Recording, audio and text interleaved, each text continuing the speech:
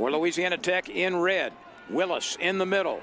No, a fake, a fire, touchdown, Louisiana Tech. And Tech does have two Big Ten wins against Illinois and one against Michigan State. Right now they have third and seven. And throwing for a lot more than seven is Jack. McNeil looks. McNeil cracks it deep. It's caught on the run by Cyrus Allen.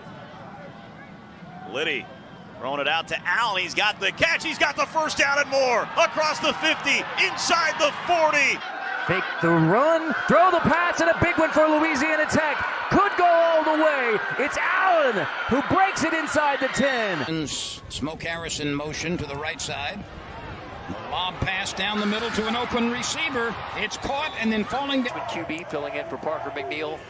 Back to the traditional shotgun, and now Lyddy airs it out, looking long, and it is caught for another big hitter in the 41.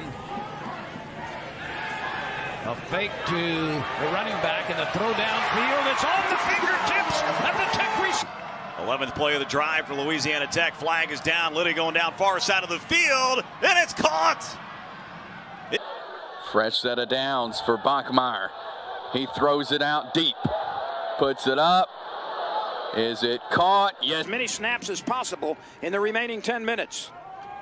Turner fires it deep, slightly underthrown. Was the catch made? Yes. Back to throw Turner. Locked in end zone has Allen caught. Touchdown, Louisiana Tech.